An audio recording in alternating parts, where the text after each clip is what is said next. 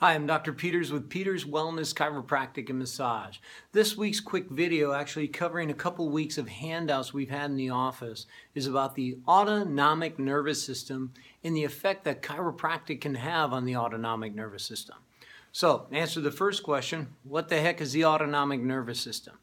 Well, the autonomic nervous system is what creates balance within the body. Think of all the different functions that you do, your body does on a regular basis that you don't have to think about. So think of your rest and digest. You know, you're eating food, you have salivary glands producing saliva, you've got your intestinal system breaking down and absorbing the nutrients, and then you've got your heartbeat, you've got your respiratory system. So you're looking at all these things that you don't have to think about, and yet they still happen on a day to day basis. And with all the distractions that we have, cell phones, electronics, everything going on, thank God these things function on their own without us having to think about. So when talking about the autonomic nervous system or the ANS, there are two parts of it. And these two parts are the sympathetic or sympathetic nervous system and the parasympathetic nervous system. So to to keep it real simple, thinking of the sympathetic and parasympathetic, think of a car. So you you know you look down and you've got the accelerator on the right and you got the brake on the left. So imagine a car without an accelerator. Boring, right? You're not going to go anywhere. The brake's going to not do you much good because unless you're on a hill, you're not going to go anywhere. Now, think of a car without a brake. Now, I've had the experience once, one time when I was younger, I was about 17, and my brakes went out on my car on the way to work. Now, I made it to work and I didn't run into anybody because thank God the emergency brake worked. But imagine your life with your foot constantly on the accelerator, never letting up. Something bad is going to happen eventually.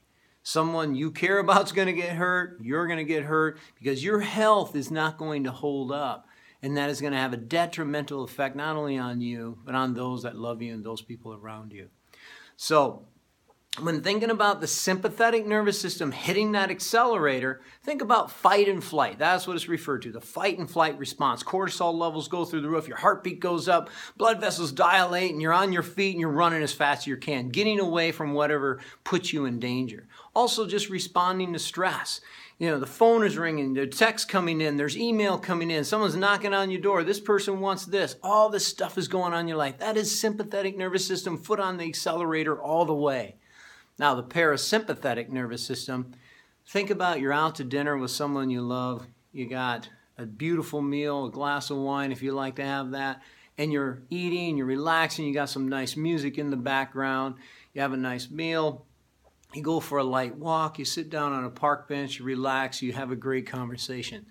That's the parasympathetic nervous system. That is slowing things down. That is balance. That is homeostasis.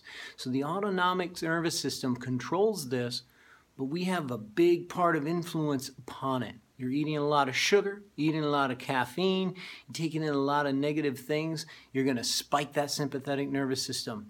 So you talk about type 2 diabetes and all these diseases that are killing people that are there I would call them um, diseases that it can be controlled because it's what you put into your mouth, what you let happen around you. So, I, you know, people I, I meet and say, yeah, I'm a chiropractor. I say, oh, you know, my back doesn't hurt. I don't need a chiropractor. And I, it, it's just like, are you kidding me? Do you even understand what the autonomic nervous system does? What chiropractic can do for that, getting things under balance and control? People come in all the time. Oh, I got a hurt shoulder, my hip hurts, I hurt my knee. But then you look through the questionnaire and you see not sleeping well. You see, I can fall asleep, but I wake up in the middle of the night. Or I have trouble falling asleep. Once I fall asleep, I'm okay. These type of issues are autonomic. And if the autonomic nervous system is in trouble, your whole system is in trouble. So if you haven't gotten checked, get checked. If you haven't been in a while, get in here. Let us take, take a look at everything and get you feeling good for the holidays. Have an awesome week, and we'll talk to you next week.